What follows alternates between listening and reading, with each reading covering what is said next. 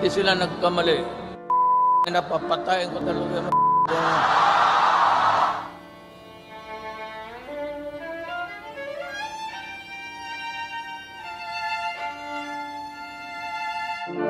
Back in the day, freedom for the Filipinos seemed like a distant dream. We have been under the rule of foreign countries for hundreds of years. We were oppressed, our rights to speak and have our own opinions were taken away by those who colonized us.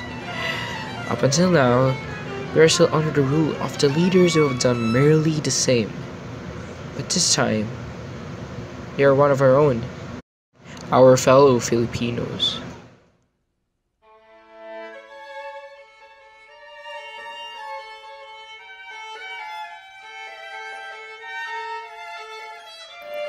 Po-on is a novel written by Mr. Francisco Sionil Jose, a Filipino writer.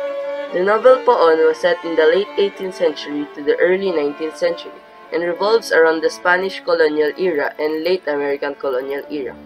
It includes historic events that wake up the nationalism of the people at that time, such as the execution of the priest Gomburza and Dr. Jose Rizal.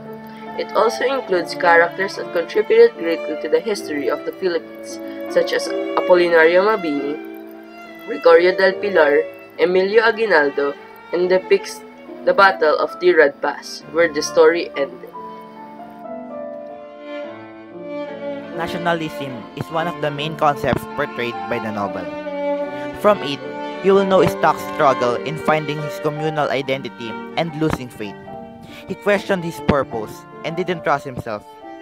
But with the help from other characters, he finished his journey on self-discovery and finally knew what he should fight for, and that is to fight for his people, his country. We have asked a few people what the impact of Po-on was on their views about nationalism, and here are some of the responses. First is from Cyrus Aragon from 8 Edison. Chose to fight for his country, and there is no law nor commandment that prevents him from killing during war. The thou shalt not kill only applies when you're killing for your own sake. Remember, God made this commandment right before He orders the Hebrews to slaughter an entire city. It changed my perspective and I finally realized that God didn't make the world to be equal, but He made the world for us to become righteous. What Istak did is righteous and there is no mistake in here.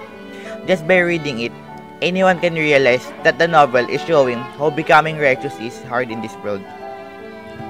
Next is from AJ Kunanan from 8 Marconi. For me, I feel the pain of his Stock. He did everything he was told, even if it means putting his life in danger.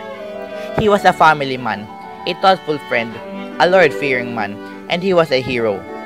To me, he stands out as a model not because of being kind towards others or being helpful, but the one trait of his talk which really stood out was how he offered his life for the country, putting the country's chance to get freedom in his hands by dying for the country.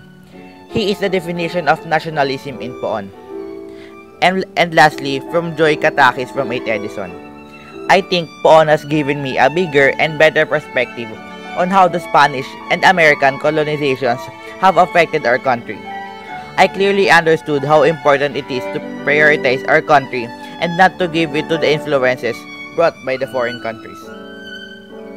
itong mga extrajudicial killings, eh baka in the future, maabuso talaga to na kahit sino na lang may atraso sa pulis, kaya sa kapitan, magko-contract na lang ng isang assassin, papapatayin na lang, and sasabihin na bibintangan na sila ay durugista.